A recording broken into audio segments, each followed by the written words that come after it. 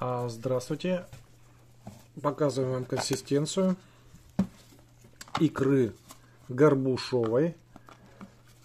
Производство остров Камчатка. Вернее, полуостров Камчатка. Икра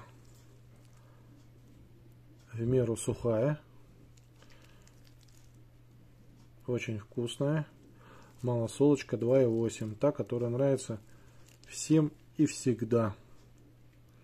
Вот приходите за такой красотой.